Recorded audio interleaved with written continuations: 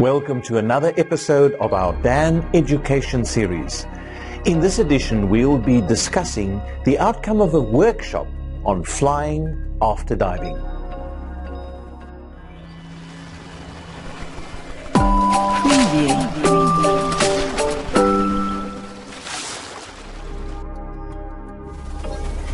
A workshop was organized to consider the issue of flying after diving. And so various stakeholders from the diving industry, experts from the scientific and diving community, diving medical experts and travel agents all came together to essentially address two issues.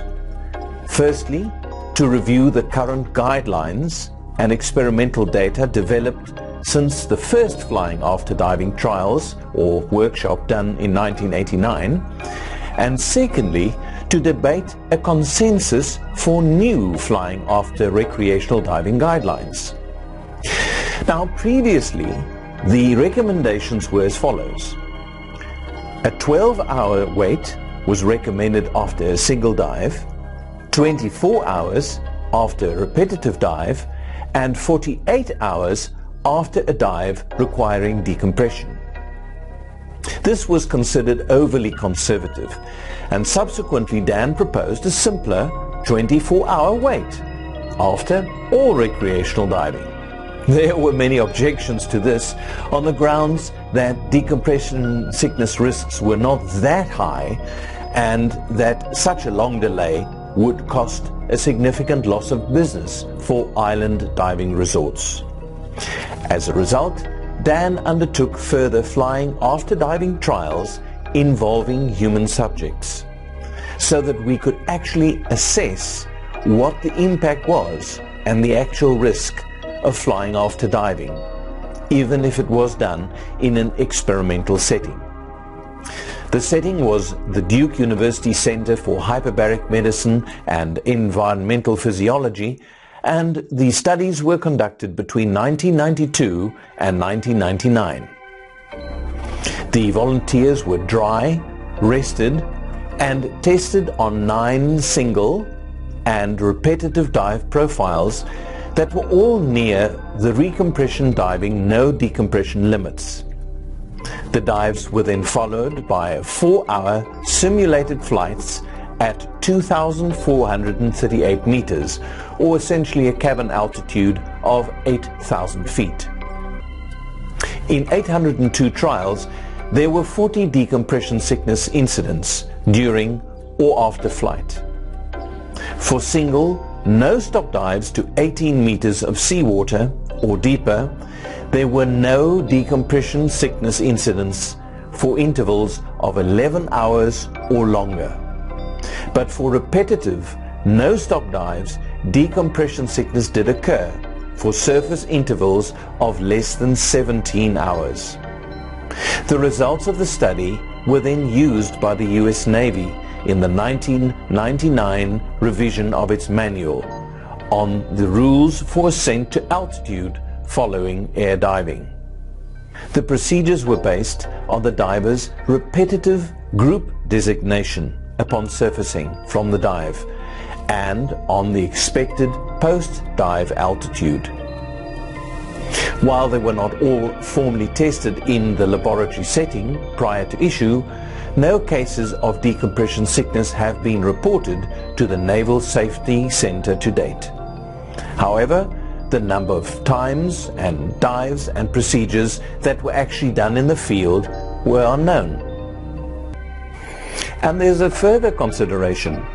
What about flying with symptoms of decompression sickness? So the workshop recently reviewed as part of the flying after diving trials the field data regarding flying after diving when diving with actual decompression sickness symptoms. There were potentially important differences between the field and chamber studies that need to be considered. Diving in the field involves immersion, exercise, and multiple days of diving, while the chamber trials occurred on a single day with dry, resting divers. So the chamber trials might not adequately simulate flying after diving as it actually occurs. As more divers fly with symptoms than develop symptoms during or after flight, flying with symptoms may be a greater health problem than the symptoms that occur during or after flight. This is an educational issue, not a scientific one. Divers need to be taught to seek medical advice rather than to fly if they note signs and symptoms consistent with decompression illness. So how about nitrox or oxygen pre-breathing to reduce the risk of decompression sickness in flying after diving? Well, the benefits of breathing oxygen or a lower nitrogen mixture are obvious, and trials were conducted by the Special Operations Command, SOCOM.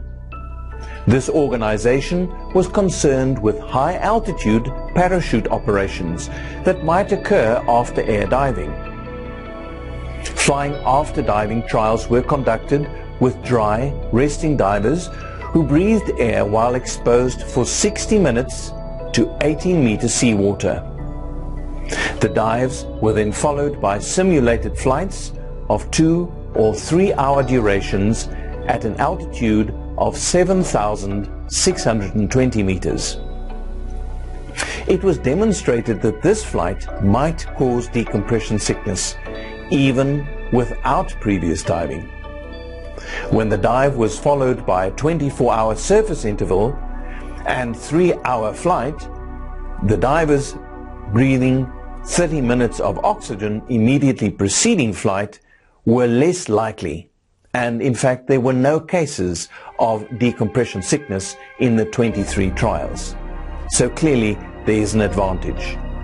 And this study indicated that A, decompression sickness risk was low for flying after diving exposure, at least for dry resting divers, and B, pre-flight oxygen might be an effective means for reducing decompression sickness risk.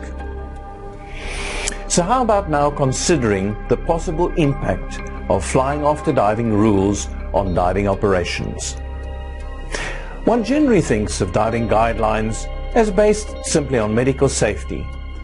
But safety is not the only yardstick that humans use for establishing rules for living. Economics also has a major impact, albeit not always an articulated one or one with which the medical community is comfortable. Economics were the primary issue in the 1991 discussion about the impact of DAN's proposed 24-hour flying after diving guideline. Offshore diving operations felt they would needlessly lose business with a single 24-hour guideline. So with this in mind, it was useful to approach the problem with a proper flying after diving model, including considering the economics, and thereby coming up with an optimal pre-flight surface interval. This would then combine the economic interests of the resorts and allay the concerns of the scientists and diving medical practitioners, as well as the insurers.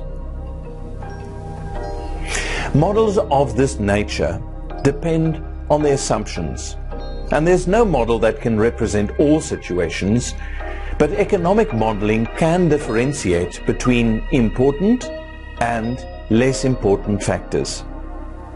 For example, in the model presented, important factors included the cost of a dive, the number of days spent diving, the dive profile, the decompression sickness risk due to flying after diving, and the overall risk and insurance or liability issues.